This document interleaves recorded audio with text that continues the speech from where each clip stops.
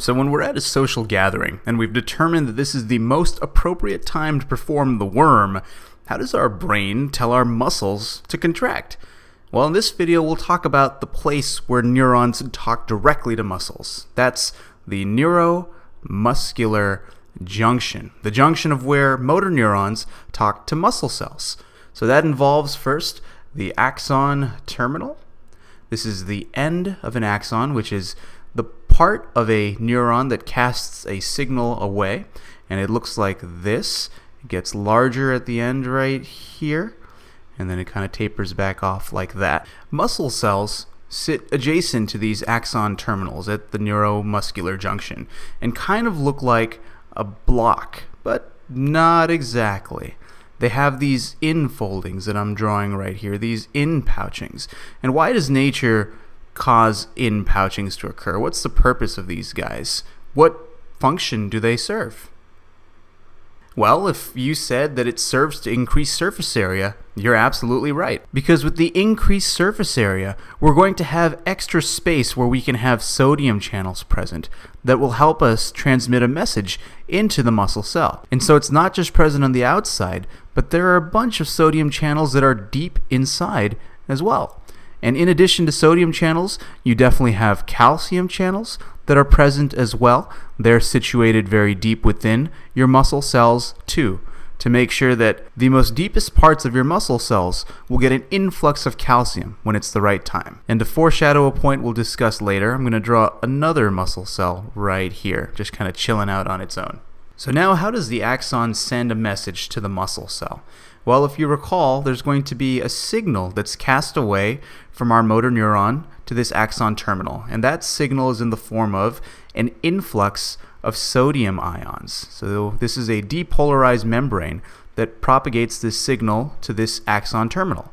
But it's not just sodium that's influxing. You're also going to have some calcium that's running in as well.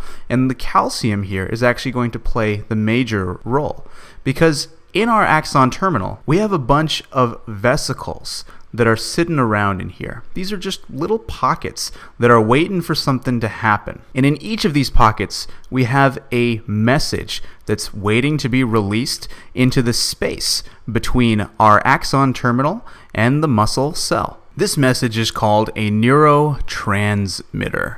Neurotransmitter, which is a very well named scientific term because all this is is a molecule that the neuron uses to transmit a message. And so the neurotransmitter that we use in the neuromuscular junction is called acetyl, like from chemistry, acetyl choline, acetylcholine. And oftentimes you'll see it abbreviated as ACH. So when there's an influx of calcium into the axon terminal, what will happen is that the calcium will actually bind to our vesicle. There are proteins that are on it that'll grab onto the calcium.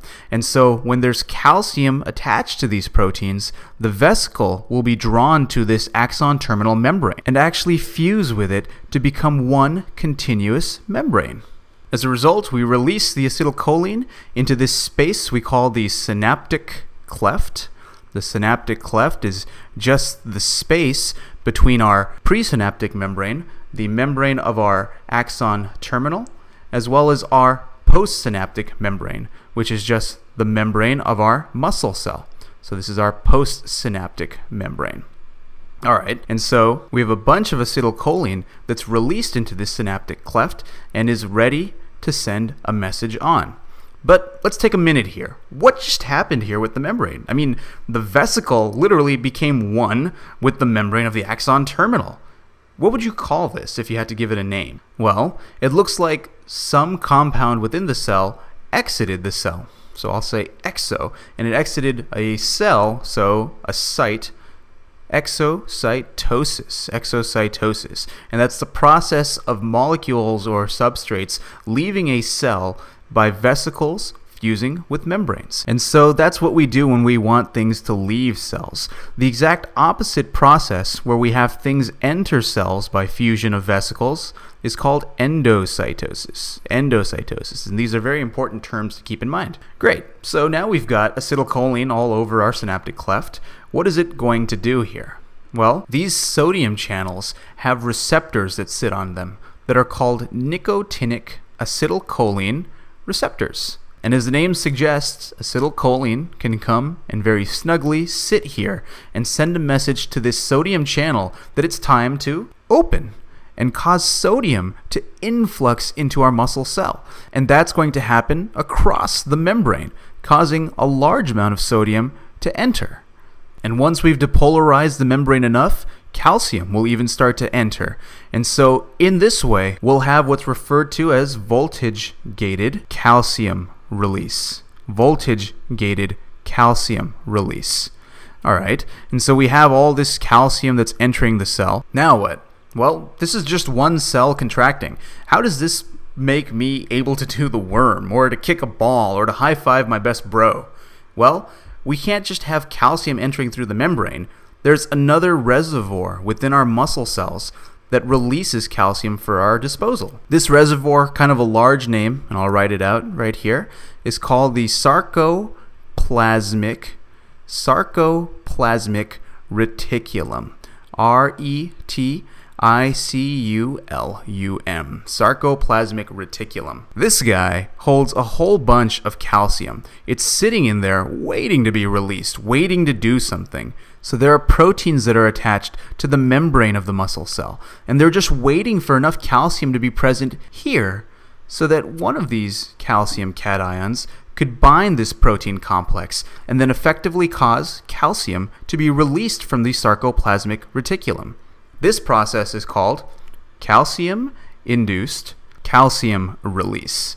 Calcium induced calcium release. And so now we have a bunch of calcium in here, and this muscle cell will be contracting, but it's still just one muscle cell. What's the big deal? Well, this muscle cell is attached to its neighbor right here, actually. There are proteins that link muscle cells together. These proteins are called gap junctions. Gap junctions. And they allow for cations to flow from one muscle cell into another. So these muscle cells aren't really separate at all. Actually, they're connected because of this gap junction and actually continuous. And there's a term that we use to drive home the fact that we can have our calcium cations move to this other muscle cell and to start a calcium induced calcium release process here. And it's that our muscle cells are in a syncytium. A syncytium. What does that mean? Well, site, just like we talked about here, just means a cell, and syn means that these muscle cells are in a synergy with each other. When one contracts, it causes its neighbor to contract as well. And that's how we scale up. Because when muscle cells start contracting as neighbors, you get the entire neighborhood contracting because you can then scale up and imagine that not just muscle cells, but muscle fascicles will also be contracting too to produce a kick of a ball or the worm. So this signal that started from our axon terminal here that began as just depolarization turns into an acetylcholine molecule that undergoes exocytosis to end up in this synaptic cleft where it binds a nicotinic acetylcholine receptor to cause sodium to enter a muscle cell, and over time, calcium to enter a muscle cell, which would then cause calcium induced calcium release, which can then go to an adjacent muscle cell to cause a synergy of muscle contraction that spans from muscle cell to muscle cell, from fascicle to fascicle. And that's what happens at the neuromuscular junction.